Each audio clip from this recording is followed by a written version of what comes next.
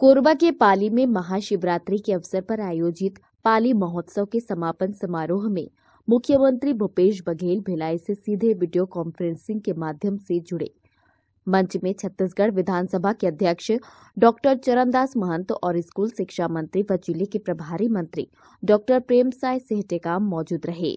इस अवसर पर मुख्यमंत्री भूपेश बघेल ने कहा कि राज्य में पुरातात्विक महत्व की जगहों और पर्यटन स्थलों पर सुविधाओं का जितना विकास होगा, उतने ही रोज़गार के नए अवसर बनेंगे।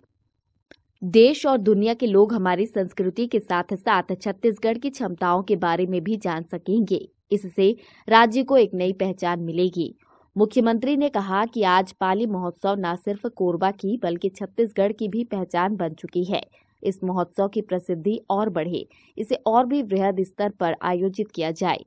इस दिशा में सरकार लगातार काम कर रही है। पाली महोत्सव के माध्यम से कोरबा ज़िले के पुरातत्व, वहाँ की प्राकृतिक सुंदरता और सुंदर संस्कृति के बारे में देश, दुनिया के लोगों को जानकारी मिलती है।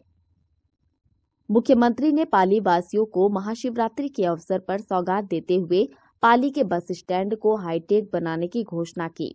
बस स्टैंड के हाईटेक बन जाने से पाली तक आवागमन की सुविधाओं का विस्तार होगा और दूसरे लोगों के साथ साथ इस क्षेत्र में पर्यटकों का आना जाना भी बढ़ेगा।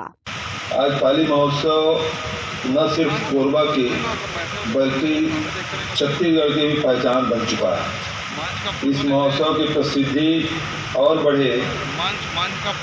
इसे और भी स्तर पर आयोजित किया जाए। इस दिशा में हम लोग लगातार काम कर रहे हैं।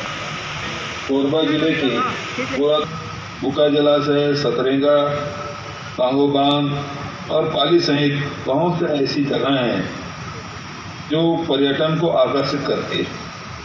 इस सभी जगहों पर पर्यटन सुविधाएँ विकसित की जा रही है। कोरबा ज़िले के साथ साथ पूरे छत्तीसगढ़ में नए पर्यटन स्थल को चिन्हित करके उसका विकास किया जा रहा है।